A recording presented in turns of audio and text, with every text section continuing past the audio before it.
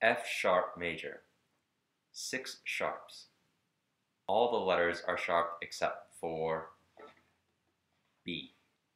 B is the only note that is not sharp. And we're starting with high third finger on the C string for the F sharp. We got F sharp, G sharp, A sharp, B natural, which is going to be right next to that first finger, has a high 2, but we have a high 1 here. This is B, C sharp, D sharp, E sharp, F sharp. Once we finish this second finger high 2 F sharp, we shift up to third position, high third position, which will give us G sharp, A sharp, B natural, C sharp, roll over to the A string, D sharp, E sharp, high 2, and F sharp right next to it. One, two, ready, go.